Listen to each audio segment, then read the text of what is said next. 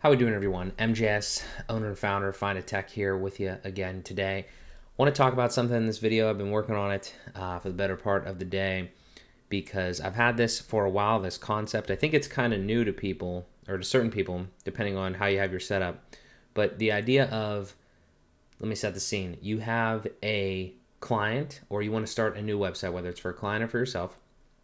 We're talking WordPress here. You know that's what we use, and you have a situation where you need to spin up a new instance of WordPress, basically a new uh, website for a client or for yourself, and you have like a lot of plugins that you like to use, and you know maybe you have a theme and everything like that. Really, just trying to increase your efficiency because one that's one of my biggest things is I like to be as optimized as possible, and I want to just make sure that I can pump out new websites as quickly as possible.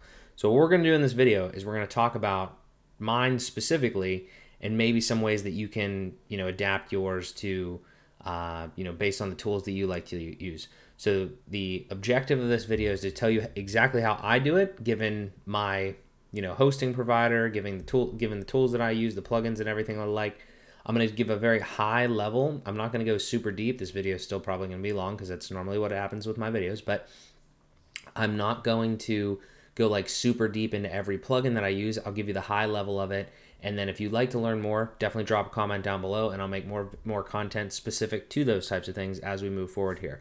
But I want to give you this idea, um, and I will have links to everything in the description um, and on the website as well as I continue to build that out. That's a whole separate discussion. But this is, I'll just you know kind of start from the top here. So I'm going to give you my instance of the way that I uh, do this as a part of the business and a part of designing websites. So a client comes to me, you know, we engage in all the back and forth stuff, which we'll have more content on that as well. I want to share all that because I've, you know, evolved things over time as far as like the actual sales process, but specifically from the development side, uh, we need to spin up a new website, right? All of us have to do it. And in WordPress, there's a few different ways. I mean, you could, if you have hosting and you, you know, if you have shared hosting, which I wouldn't really recommend, but if you have shared hosting, then you basically just say like you want to add a new website. It's been a while since I've been on there. And then you go through the steps of installing WordPress, another instance of WordPress, and then you get a fresh install of WordPress, and you're off to the races. But it's all you know, very you know, like it's it's at level one, right? You can see in here I already have things installed. We'll talk about that. That's the point of this. I'm just saying you want to get from signing the contract to to actively developing as fast as possible. So this these steps right here would make this go so much faster and there's a lot of things packed in here that you're going to need anyway that you probably should consider. So that's what the uh, the point of this is. In my instance, I use Cloudways for hosting.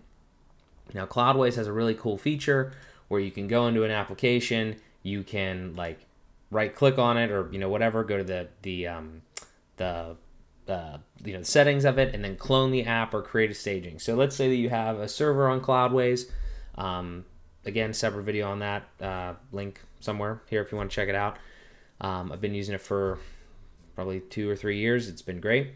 Um, you can clone an application. So let's say that this was like your template site. I have it in here somewhere, but let's just say this was it. You clone the app. You go to select server. You can create a new server, or that's what I do and um, if you create that new server, then it's like an application or a website on its own server. I would recommend doing that for your clients. I don't recommend shared hosting or putting more than one uh, website on the same server because if you're being serious about this, your clients are going to grow. They may end up needing more resources at some point, and then it just gets really sticky because then you have to like scale a server that has multiple websites on it. It's just rough. Uh, Cloudways lets you do that, and I've had to do that before. So like you could take it from like a one gigabyte server when they first start, and then like they blow up and they have like a lot more traffic and everything, and they need more power. Then you go to two gigabytes, four gigabytes, whatever. Again, don't want to go super deep into that, but the point is that you take that application, your template site application, which is just a regular version of WordPress, right? Like it's just like a an application that is, um, uh, it's just like a website application on Cloudways, just like any other one would be and you can clone it. Um, and then once you clone it, and, and let me actually interject here for a second. This is probably not a feature that is specific to Cloudways. There's probably so many other cloud platforms and probably even shared platforms where like all you're doing is just like taking the directory, the files in the WordPress installation for, you know, whatever other site you do and um, and and just cloning, literally just cloning it, right? Like just copying the files, it does it for you. Just makes a new thing. It's like okay, this is you know copy two or whatever of whatever you're doing. Um, I've just been using this method for a long time, and I think there's a lot of people that, that just start fresh every single time, and uh, I could see it being a real time suck. So just look into your current hosting and see if there's a way to clone websites is really what I mean. And then what you're going to do is you're not going to clone like a fully developed website. You're going to start a fresh one. You're going to build this template one time and then you're going to clone that. That's that's the concept, right? That's what I did. I'm just past that point, so I'm going to show you what the template looks like at this point. So that's I feel like a decent uh, explanation of how that kind of goes.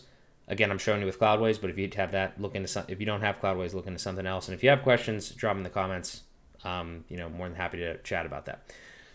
Okay, so at that point, though, you have, let's say you're starting fresh, you have a fresh install of WordPress that you want to turn into your template site. If you're doing this right now, the idea is that you're not going to ever use this site.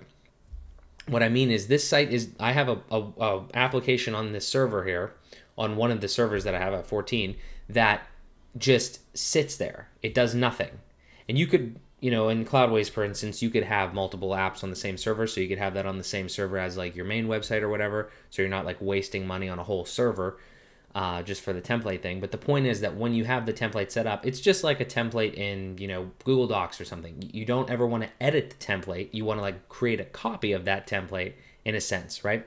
So getting ahead of ourselves a little bit, but let's continue here. so if we have a fresh install of WordPress, then you know there's a lot of settings and things to go through. I'm gonna try to go through like the the, the most of them that I can.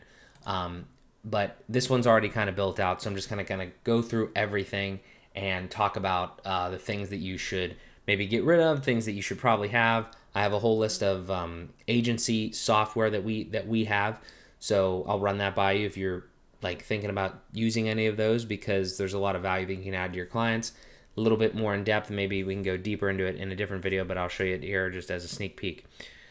We are sitting in this template site that is already built out, right? You can see that I've changed some things. When you first get into a fresher install of WordPress, like I said, it's not going to have all this stuff. It's going to have, I think, two plugins. I think it still has that Hello Dolly one. Get rid of that, stupid. Um, and then the anti um, spam, like anti, I don't know what, I don't know how to pronounce it or whatever. Just I, I normally get rid of them, so I get rid of that. And again, I will say that you're maybe you might not set this up the same exact way, but I'm gonna tell you why I build with the things I build. Like I said, at a high level. So we're gonna install things like Elementor, JetEngine, and all that sort of stuff because I think it's a good place to start. So you want to change things like perhaps in the settings, right? So if you go to general, you should probably change the site title just like template site or you know company template site or something like that because if you do that, then you're, it's you know it's going to be just less confusing, and then and then all that. You don't really need to worry about too much else.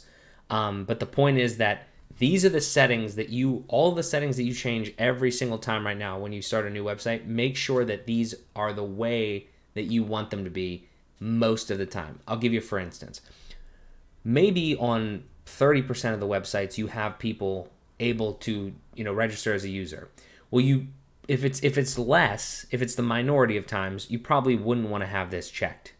You know what I mean? You can always you're always going to go through on the other end when you do clone this template site after it's built and you build a and, and you're going to build a client site. You're always going to go and tweak more things, but these are like your your default settings is kind of what we're doing here because they're probably going to be different than WordPress. Let's talk about some examples here.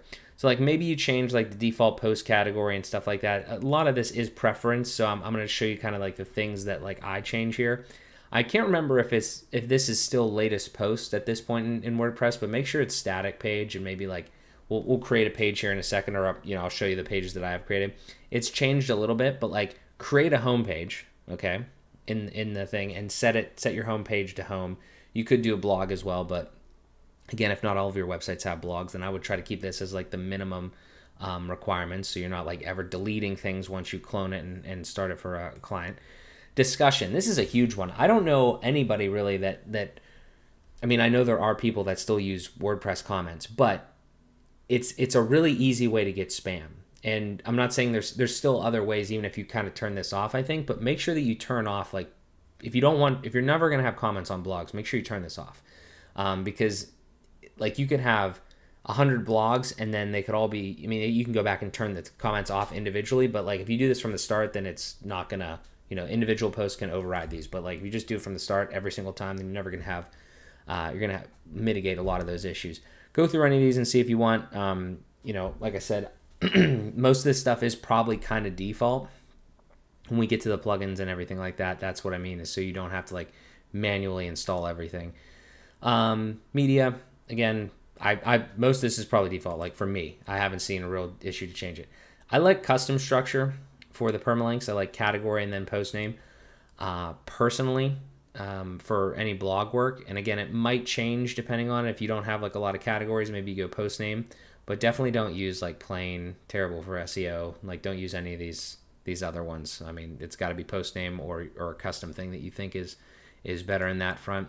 Privacy if you had a privacy policy page, you can do it. Um, I'll talk about that in a second, but I actually use um, Termageddon. There'll be a link to them. Really, really love the company. Can't say enough about them. I'll make more content here in the future on it. But um, if you have a uh, privacy policy page at some point, you could set that up here. If you want to make a default one and set it up, you could. Um, so that that's an option as well. I think that's more of a newer thing. HappyFiles. So um, we'll get into this in the plugins thing, but I'm just going through the settings here. HappyFiles Pro actually just got it today as I was revamping all this. I would really highly recommend that. I'll show you exactly what I mean by that. And then MainWP child, we'll talk about that. Um, so let's go through some of the other stuff. Users, there's nothing really there. Plugins, we'll go through all of them. Let's start with themes. So themes, I use Hello Elementor. reason I use that at a high level is because it is built by Elementor. I use Elementor as my primary page builder, and it just works the best because it's you know built by them. Um, it's extremely lightweight, which means there's like I literally never ever ever ever click customize. I never do that, and I want that customized section of the website, the customizer. I don't want anything there, like as as little as possible. They've done some stuff to like even like like help uh, like if you haven't if you're not familiar with Hello Elementor, there's like a header and footer thing now I don't use that at all. I, I, I just use the um, like the actual theme builder within the Elementor page builder to do the header and footer. You can build however you want. Again, topic for a different time, but that's the, that's my theme of choice, um, and I never use the customizer at all. If we go up to pages, so I used to have like an about, a contact, um, and you know like a home page just as default because I figured I would need them. The more I build websites like yes you're probably going to need those things but at the same time like i don't know what i need when i need it. So you're always going to have a homepage. So i just made the homepage. Um, you know you can set it as the front page based off of those settings that we talked about earlier. And you know again thinking long term when you clone this site and you jump in here for the first time you can literally just you know change the change the title uh, to your new business to the client's name and then literally just start editing you know? So that's that's kind of the point of it. You don't have to necessarily delete anything. Some you obviously have to create things that are specific to that, but you know there's a lot of stuff here that's uh, going to put you in the right direction right away. So if we go back down to appearance now, what I did with the menu is just have a menu ready already. Like have a um, you know create already created a new menu. Just call it main nav menu or something. If you had more default pages that you're always going to use, if you're like if, for instance, if you this is actually really valuable if you build the same type of site all the time. I actually don't as much, but if you always build five page websites for uh, you know a specific niche and they always normally have similar pages just make all those pages make the nav menu in there and then just kind of change it, you know, for each client client's individual needs. Um, you know, I'm just trying to save people time here, just kind of give some some thoughts. None of this is really, um, you know, groundbreaking. I'm just telling you kind of what I've done. So that that's a that's an idea for you though. Let's go to the media library, I suppose, and uh, take a look at this. So this probably looks different if you've never heard of HappyFiles because HappyFiles used to have a free version. Now they don't, I believe, and they only have a paid version. It is $60 for uh, unlimited websites for life, like one payment. I would highly recommend you get it. Um, it's it's helped me organize so much stuff, especially when you are dealing with clients. I'm going to explain why.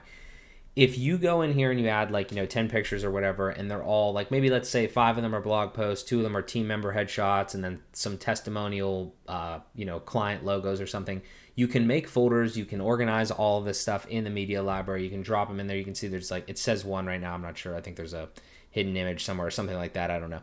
But my point is like this could be a list of just like almost like a a file explorer in windows or a finder in mac or whatever and you could just you can just organize everything it's awesome. Um, and that is super valuable because I don't know why WordPress doesn't have that built in yet. I was actually waiting because I didn't want to necessarily buy HappyFiles Pro uh, because that seems like a feature that should have been in there, but it's neither here nor there. I'm happy to support them because it's a great product. The other thing too is if we pop back down to HappyFiles, you can do it in other stuff. I actually have not changed. I have not messed around with this yet, uh, so if I do, you know, make more content on it. But there's a bunch of different settings here, and even like you can even like categorize different things within the the, the WordPress ecosystem, not just media, but also post pages. not exactly sure how that all works because it's not a taxonomy. It's almost just like a view, like a categorizing in in the display.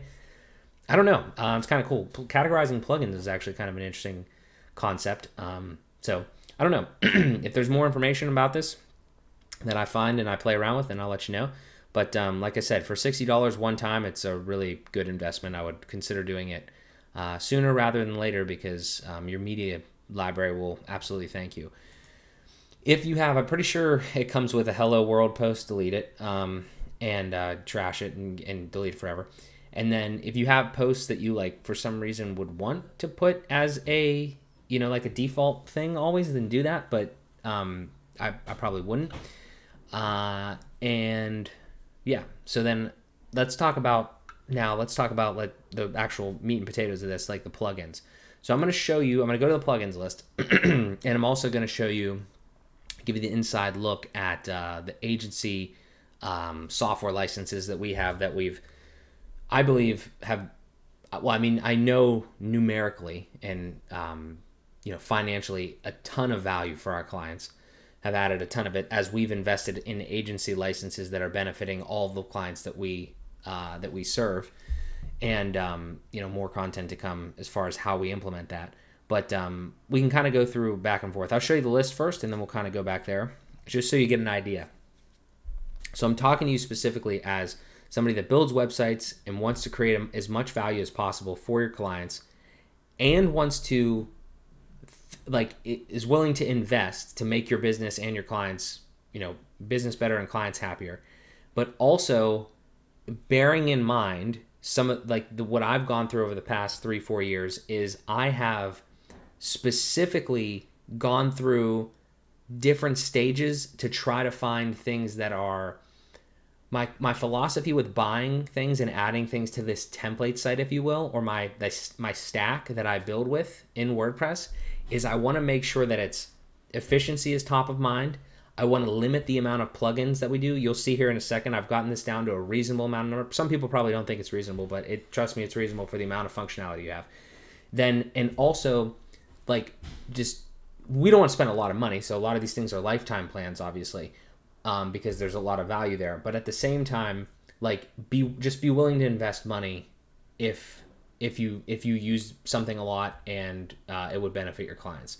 Um, and uh, and don't just buy things frivolously have an actual reason to buy it and then don't and then and the last point is like if you if you have a uh, some sort of plugin it's cool to find like something that's free to use right? But at the same time realize that when you're paying for something it's probably going to be higher quality it's probably going to perform better and you know, if you already have something, do not like go out and buy something that the feature the functionality is already in. Check what you have first. This is just goes in business in general. Check with the stuff that you have first to make sure you can't do what you need and then find the best option to fulfill that that need. So with all with all that being said, I'm, I'm not going to go through. Well, I'll, I'll, go through this this list kind of, but um, but if you you take a you know if you pause the video and just take a look at what you're kind of doing, what we're kind of looking at here, you can kind of kind of see my my thought process. So we have the tool in the first, the tool service plugin, whatever you want to call it in the first column. Then we have our license um, renewal, like the timing or you know whatever. Then we have how many domains it costs, and some of this information might not be exactly accurate, so double check if you want to play around with any of this. And I'll have, like I said, links and everything in the description if you want to check these out. Some of them might be affiliate links. If you want to support the channel, I appreciate it. If not, just go to the website and buy it. Um, expense expense for us is like um, kind of goes in line with the license renewal. I'll explain that. And then cost to replace uh, the domain. That is a that's like the value. If if you use these things in your website, you are providing value to your client, and the value could be you know specifically in this case we're just making it do- a dollar amount, but that's what be would be to replace it. So I'll give you an example. So so MainWP, we have the lifetime plan. We paid five hundred dollars. Okay uh, number of domains, it's, unli- it's unlimited. It's not like MainWP is a is a tool to manage all of your sites from one place. There's a different options out there. We chose that one. Maybe more content in the future if you'd like uh, on why. But um, the expense for us, like recurring expense, is nothing because we have paid one time and we have it. But if they wanted to replace that, that's a bad example because they probably wouldn't. But they would have to pay like $200 a year for either like one domain or whatever this lowest tier is, right? So that right there it's helping us. That's not a direct one. Like Elementor Pro is a better example. We pay annually. It, it's for a thousand domains, and we're at the 150 dollar a year thing because we're grandfathered in because we've had it for a while. I think the price is more now. But if they wanted to, if we're using Elementor Pro to build their website, and then they like wanted to go somewhere else or do something different or whatever, they have to pay fifty nine dollars per year to have a license of Elementor Pro because they're no, they would no longer be uh, benefiting from what we have. And this goes back and forth. This isn't to like trap anybody. This is literally to provide value. They are going to get so much more value working with us and our expertise and our, um, you know, in our just our our knowledge in the space plus all of these things that you know if they ever wanted to leave, we just make them aware of all this stuff and then you know they can you know we have a contingency contingency plan and they can you know they can uh, they can go about their merry way. We're not trying to trap anybody. We're just trying to provide value as much as possible and really make it as convenient as possible. Do not, I would not recommend if you build your business on Elementor Pro, like if that's what you build with, don't make every single one of your clients purchase a $60 a year license for Elementor Pro. Just do it yourself and then charge them that plus, you know, maybe margin or whatever on it, but don't like don't make them handle more things than they have to because they're not in this space. Like think about all the time and energy that you've probably put into figuring this out. Like do it, do it, make it more convenient and more valuable for them. They'll be happy to pay the money if you're making it valuable. Okay, so let's quickly go through the rest of these. So like Crocoblock, JetEngine, right? We have the lifetime plan of that. JetFormBuilder came with that, so we have a lifetime plan of that. It's really nice too. If you're if you're if you think that a tool is gonna benefit you, there's there's a debate to be had on lifetime licenses because you know you know, if you pay one time, then it's like, you know, from a plugin perspective, it's like, well, they're not getting recurring revenue, so that, do they have an incentive to continue to to implement and stuff like that? But from a consumer perspective, I mean, the lifetime thing is really good. I mean, that is absolutely worth its weight in gold for for nine hundred dollars. I'll tell you honestly that that that suite is amazing. I'll show you a little bit of it here in a minute, and it, it there's hours and hours and hours of content on JetEngine. You should definitely check it out. Uh, Dynamic OO. Um, uh, lifetime as well. So again, think of this from a business standpoint. We are not paying for these things. Like we paid for them one time, invested one time, and we don't have to pay for a lot of them um, because they were the lifetime plan. Um, but if if we were using functionality, I'll give you an example real quick on that one. Dynamic calendar, add to calendar links. That's actually the reason I had to get that, and it's got a lot of other functionality, obviously. But that's the reason I had to get that because a client wanted that if they wanted to buy that, that's sixty dollars a year for like one small thing that they wanted. We invested in it, and they don't have to. So, and, and there's a lot of other functionality that I'm gonna have to use many other times, I'm sure. But that's the point, right? Those types of things are value adds. So, um, Trustindex, which is like a review um, platform that you can like automatically put in uh, G- Google, Facebook, all sorts of other things. That one's a big one. Actually, that one's not uh, lifetime, but we have that. I'll show you some more stuff when we go over there. Ubersuggest, HappyFiles Pro, um, WordPress Ultimate CSV up importer. If you use JetEngine, I'm pretty sure you almost have to use that if you want to import and export because it's the only one that really does um, uh, custom fields. ChatGPT Plus. We're writing content with AI nowadays. Okay, that is a part of it. That's a huge value add. AffiliateWP, SendGrid, um, Ele Custom Skin Pro is kind of we have lifetime plan, but it's kind of like on the outskirts because we don't really use that anymore because JetEngine has kind of taken over that whole thing and Elementor's came a long way too. So that plugin is was fantastic for many years, but it's kind of uh, unnecessary at this point. LatePoint, um, tried that one time. Uh, check it out if you're interested. It's like a scheduling. It's a kind of a cool scheduling type um, plugin for booking appointments and stuff, but have, haven't really deployed it anywhere. And then Breakdance, tried that out one time. Don't really know. Don't really have an opinion on it. Might be really good in two years, but right now it's still Elementor is the king.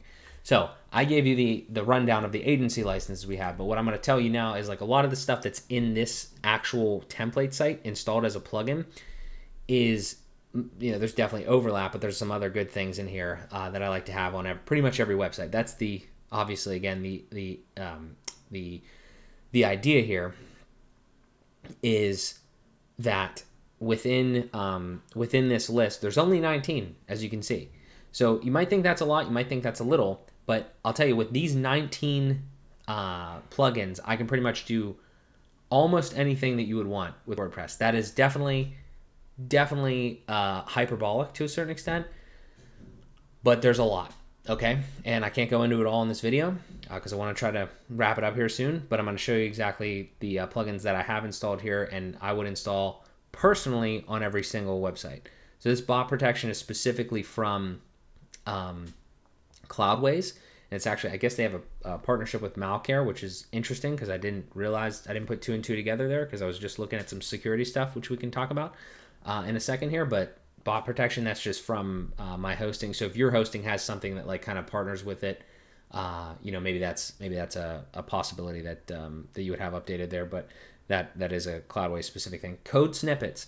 I actually try to not use code snippets as much as possible because like I just I don't know. I mean, there's I, I don't put it in like the the actual functions thing or anything. I normally I normally do use code snippets if I have to, but I just don't use it as often enough as I need to. Um, I don't know the ins and outs on specifically like if this is better or if it's smarter or like less smart to put this in code snippets rather than functions PHP, but it's definitely way more manageable. So if it if it works, to me it works. Um, I do like it. Great plugin, free. Would highly recommend it if you need to add, you know, like PHP or specific, you know, uh, like actual like uh, snippets in the in the head or whatever of your uh, of your website. Definitely, everybody knows about that one. I think so.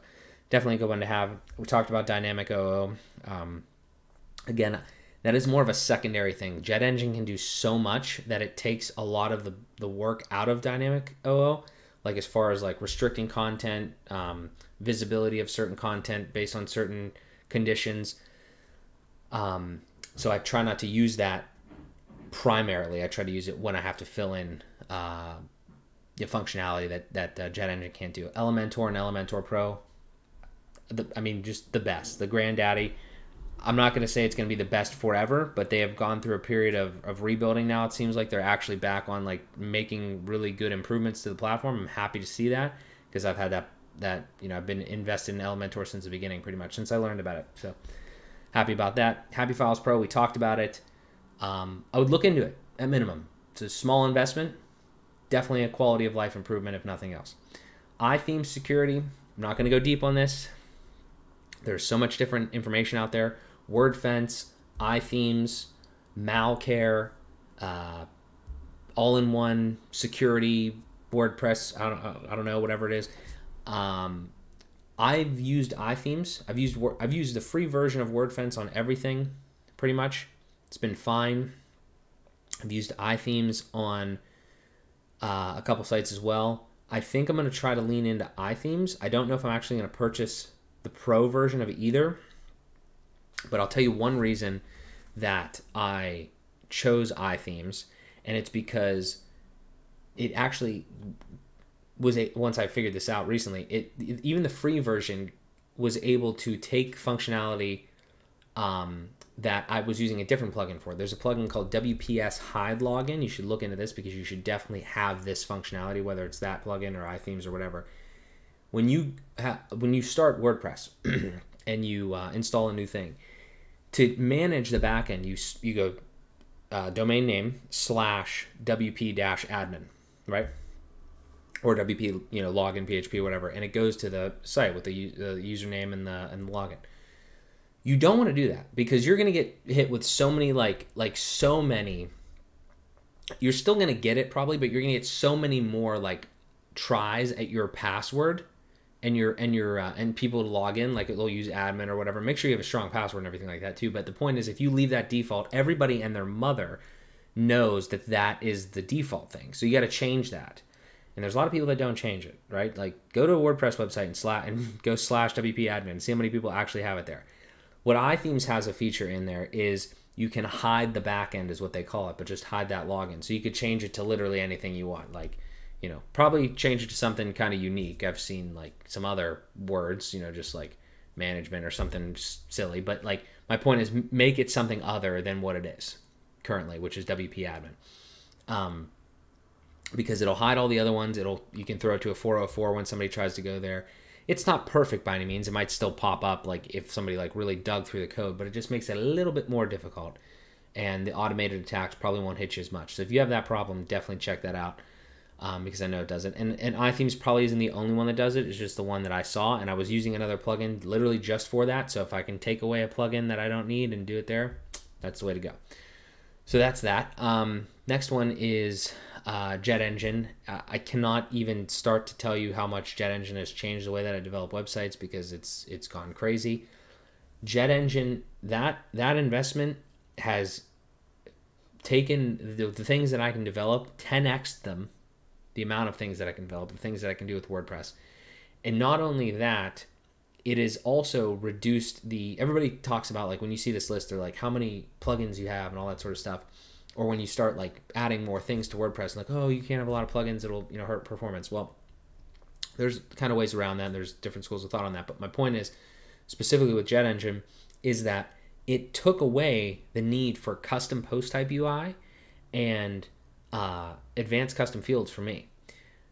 99% of the time, unless for some reason like advanced custom fields could do something that JetEngine can't, but that's relatively few and far between. So if you're not familiar with those two, I, I see a lot of people get um, marketed in this other one. I don't even know what it's called. It's called like our portfolio, probably like portfolio items or something. You don't, if you're, you, you can try that. I've never used it. I've just seen it so many other places. But all that is is custom post types. And we're not getting into this discussion right now but the point is with JetEngine you can create the post types you can create the fields you can create the listing items and you can do these grids that are unbelievable. Like the querying in JetEngine is next level. It's something like if you're familiar with elementor and you have any idea what i'm talking about right now like you will be blown away when you can figure out how to do this. Like you can put you can so i ha, the reason i got JetEngine quick quick aside is because i wanted to do a list of categories okay? Which is simple enough, right? But within those lists, within each list of category, like let's say there was, um, you know, uh, I don't know, let's say videos or let's say movies. So let's say horror, action, drama, okay? So horror, action, drama, and I wanted this all to be dynamic, and I have these post types in here. So I have uh, a bunch of you know movies, okay, movie post type, and then in there I have you know the data along with those, like a, you know maybe a picture and a title, and then they're categorized as you know action, drama, horror, whatever. I wanted to display a big list, so each one has a title, and within each one of those, there would be like all of the movies for that category.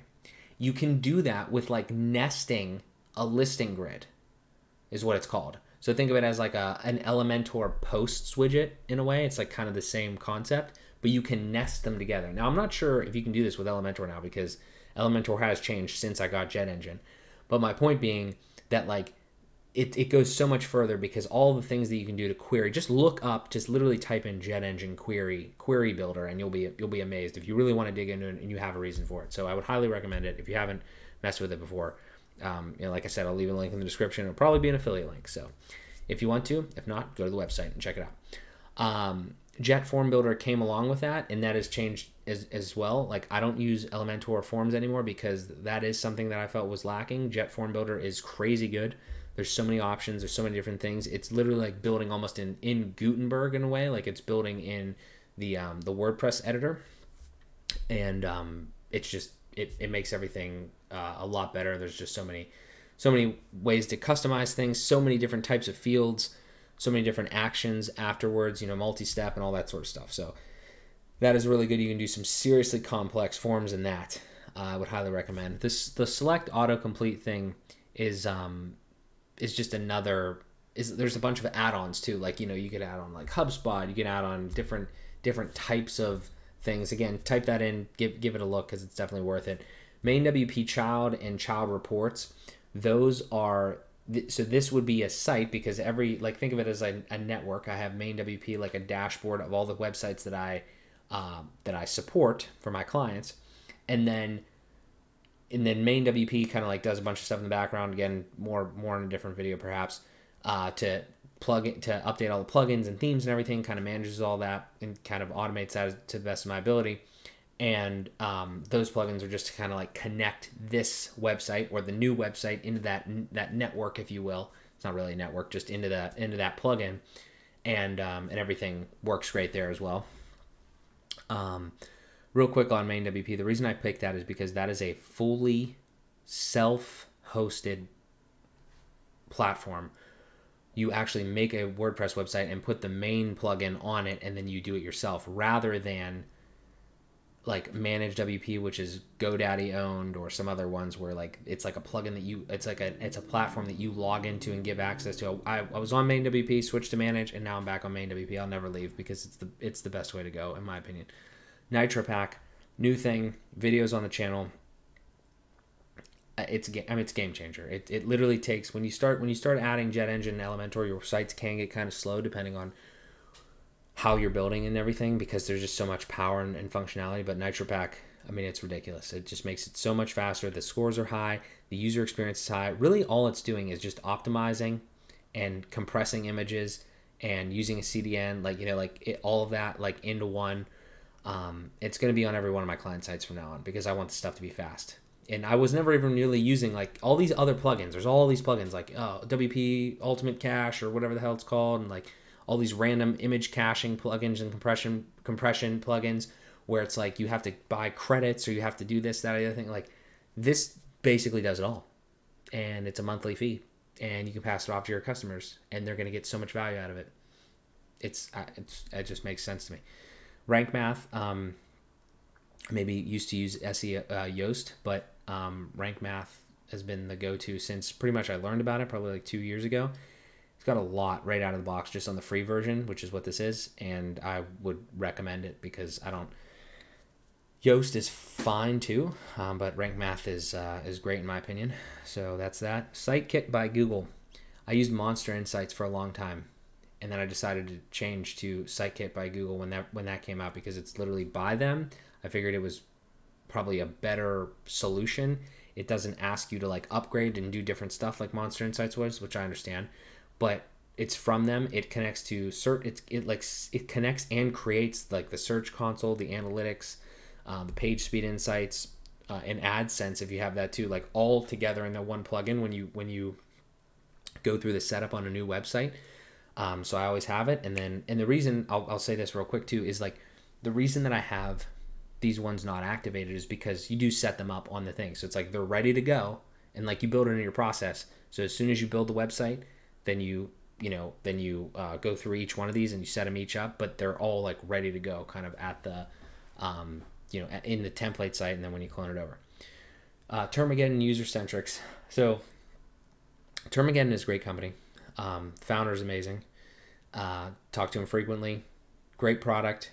Great um, value proposition and fantastic for your clients. I would actually recommend that you take a look at it but i would also recommend that you stop thinking that you don't need legal policies on your websites for the clients that you build, um, or at least tell them that they need them and then make them sign if they don't uh, want to go ahead and, and move forward with them because you do need privacy policy. You do need potentially disclaimers, terms and conditions, stuff like that. Uh, it's a really good thing to have. Uh, cookie policy, especially like GDPR or whatever. I'm in America, so I don't necessarily know uh, like all the stuff that's uh, that's regarding that. I haven't dealt, delved completely into that uh, section yet, but I know there's just a lot of stuff there. And the digital world's getting vast, and the platform that they have is you just answer questions and it builds a policy for you. It's like amazing. Um, so I'm gonna do more content on that because I, I, really I really believe in that product and it's extremely affordable. especially if you become an agency partner and you can continue to do that as well. But even if you're just individual, it's, it's a great tool. So that's going to be on every one of my client sites as well. Moving forward, uh, I use Updraft, Updraft Plus for backups. And so I back up directly to Cloudways. And then I also back up uh, via Updrafts and save in Google Drive. Potentially, maybe one more place at some point, but for now, that's fine and um, I would highly highly recommend that you don't just take server backups. Like, don't just rely on your server hosting company to take backups. Do like updrafts or something, something other than just that. Get it to Google Drive, save it locally. Maybe be even even better option, but just do that and try to do it as often as possible. I would actually like to do daily backups for everyone moving forward and save maybe like the last three days I think that's like a good position. Um, and Updrafts is, is, a very good platform for that, and that's the free version. So never had a problem really there. Um, so yeah, web accessibility by accessiBe. Every website should probably be ADA compliant, and if your clients aren't aware of that, then you should make them aware of that. And I uh, am also going to do that for every single client moving forward now. So if somebody comes to the website and you know they have some sort of disability or something it's going to be accessible for them there's going to be a little pop-up on the side and they can you know do all the different stuff high contrast all that sort of stuff um, because i don't want my clients to catch a lawsuit in that regard either um, so i'm going to just make that decision for them and they're going to obviously these things come some of these things come with costs but that that's that's the cost of doing business and that'll be uh, part of the value proposition as well Last one in there is uh, that Trustindex. So it's widgets for Google reviews, which you can actually get that for free, I think. But there's a lot more features, functionality, customization if you get the the uh, plan. And that was uh, the 350 a year one, but that was like unlimited sites. You could get a smaller one if you wanted to. But again, uh, with the methodology there, it just makes sense. But that's a really good one because reviews on websites are important, testimonials and everything, but also seeing it as a Google review rather than just like text in a picture specifically is even more impactful. So if they have like a lot of Google reviews or Facebook reviews, you can just like populate them in there. And then the other thing is you don't have to manage them. Like it automatically refreshes and pulls in new ones. It's amazing. There's probably other things that use it, but that one is that one is fantastic uh, as well. Um, the last thing is WP Activity Log, which I'm actually very confused why it's not in this list. I have to look into that again. Um, might have like hit it or something, but WP Activity Log is like a really cool one because it shows you everything that everyone does on the website. Um, let me take that back. It might not be every single. It could. I think it's every single user, um, but it's definitely like you can you could filter it and do different stuff. And I'm sure there's a paid version, but it just keeps a log literally of like if I change something on a page or whatever, or if I access a different thing, or if somebody logs in. It's a really cool concept to have um, just like kind of an all-seeing eye over like what's going on on the website. Um, there's a, I'm sure again there's other things that do that. Probably even like some security plugins can kind of give you a better take on that. But I've had that on the websites for a long time. Never really had any, excuse me, never really had any issues, and um, and I think it's it's definitely been uh, beneficial in certain times when I was like, what did I do like last, or like did somebody like if a real good example is if like a client is managing part of their website and like you don't know exactly what they did to have something to make something happen it just gives you a good log of that. So that's just one just one way that that could be uh, beneficial. Um, okay guys well that is pretty much it. Um, long video always is sorry. But i uh, hope you got some value out of this. Hope you at least learned about a couple new plugins maybe that you hadn't learned of before. If you have some stuff that you use in every single one of your websites that I don't have here, definitely let me know about it because I'm always I'm, one of my goals is for every single website to get you know better and better. So if there's more value that I can pack into this to uh, serve to my clients or to build websites that I want to build, I definitely want to know about it.